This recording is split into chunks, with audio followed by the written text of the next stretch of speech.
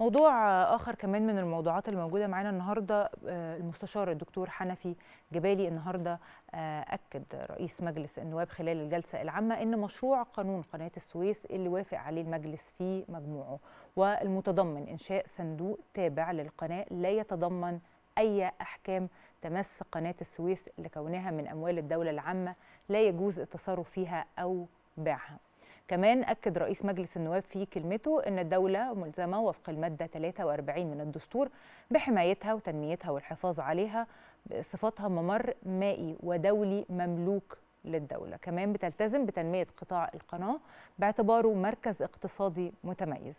أضاف أن ما تضمنه مشروع القانون من حق الصندوق المقرر إنشاؤه في بيع أو شراء أو استئجار أصوله الثابتة أو المنقولة وده أمر طبيعي بيتفق مع طبيعة الصناديق كوسيلة من وسائل التمويل والاستثمار ولا يمس بشكل مباشر أو غير مباشر قناة السويس لأن لفظ الأصول لا يمكن أن ينصرف بأي حال من الأحوال على القناة ذاتها لأنها مال عام لا يمكن التفريط فيه.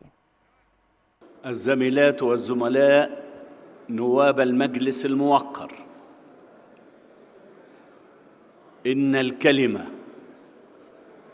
سلاح ذو حدين.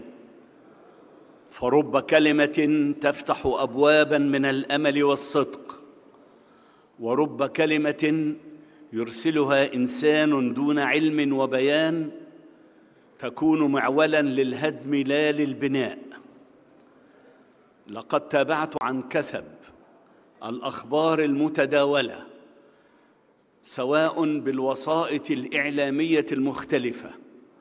أو على مواقع التواصل الاجتماعي بشأن مناقشة مجلس النواب لمشروع قانون مقدم من الحكومة بتعديل بعض أحكام القانون رقم 30 لسنة 1975 بنظام هيئة قناة السويس والذي ينضوي على إنشاء صندوق تابع لهيئة قناة السويس.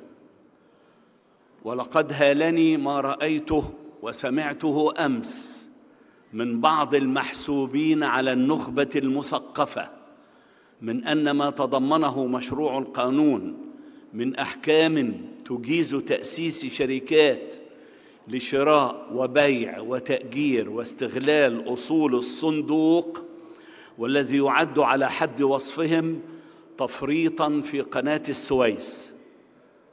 وإزاء التخوفات المشروعة لبعض المواطنين تجاه هذا الأمر والمقدر من جانبنا بشدة والتي تؤججها الادعاءات والمغالطات التي صدرت عن أناس لهم مكانتهم العلمية والأدبية والثقافية بل والقانونية في المجتمع. لذا فقد وجدت لزاما علي ضرورة توضيح الأمر.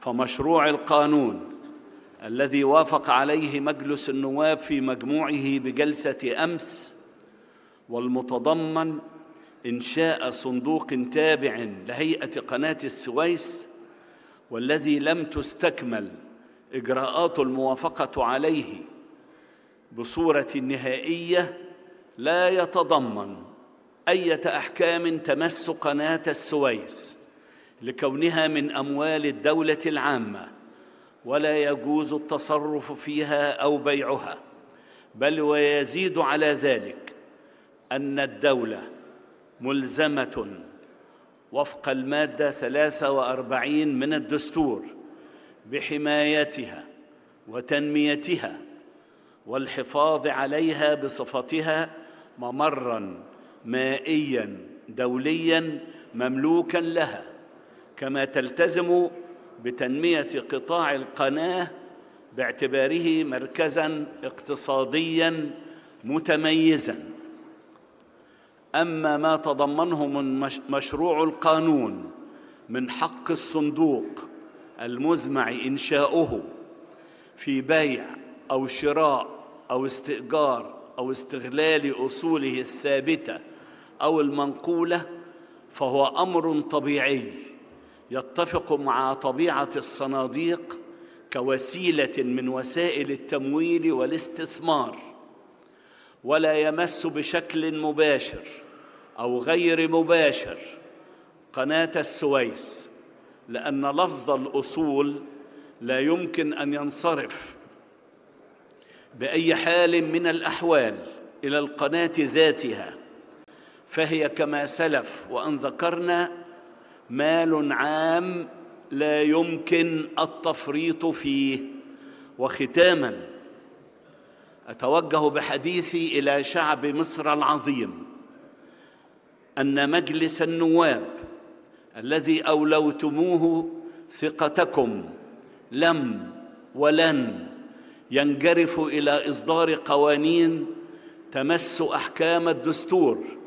الذي يعبر عن ضمير الأمة وأنه يبذل قصارى جهده في تمحيص مشروعات القوانين لضمان بلوغها حال إقرارها مصلحة الوطن والمواطن. حفظ الله مصر وشعبه.